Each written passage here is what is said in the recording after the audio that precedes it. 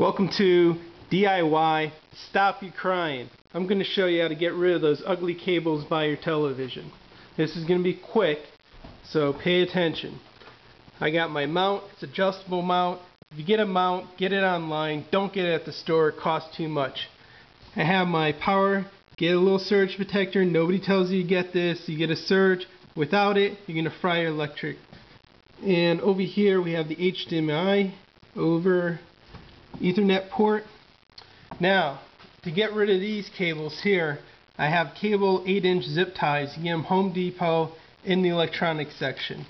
Okay, you put this on nice and loose and you bunch up your cables and make sure it's loose because now you can adjust your cables so if you pull the TV out, you know, you have something to work with there.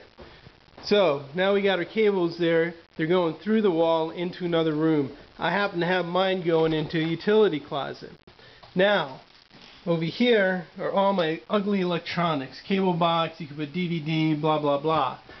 Now, how do I do this? I have remote control extender. You can get it at Amazon.com, 30 bucks. And what it does is you have a little transmitter battery in your remote. Every time you hit the button, RF signal goes here, that signal goes there, and you're all set. This can be in any room of your house don't go crazy. You can just put the holes in a wall. You can have it in a back room, utility closet, and just get a bookshelf. You don't have to do this whole built-in thing that I did. Okay, so then you have everything nice, neat, and clean over here. Um, it'll work perfectly, no fancy electronics.